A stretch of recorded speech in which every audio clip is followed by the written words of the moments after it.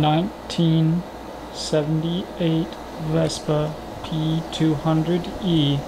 Bought it out of a carport to try to get it running and restore it.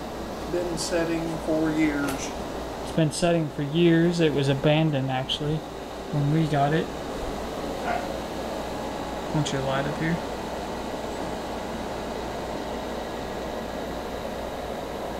That's the mileage. 4169. We're planning on restoring it. Motor seems to be complete. The engine, yeah. Grab this side. Seems to be all here. Definitely has uh, wiring issues. Yep. Probably where it was setting. Because where it was setting, there's pack rats and everything else in there.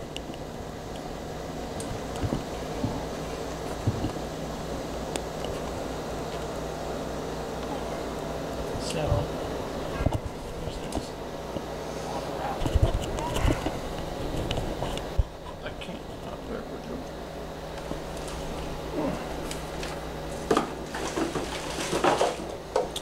Have to excuse the lighting because the garage is kind of dark and it's very hot outside. First thing we need to do is take the top off of the air breather to try to get to the carburetor to see what condition it's in.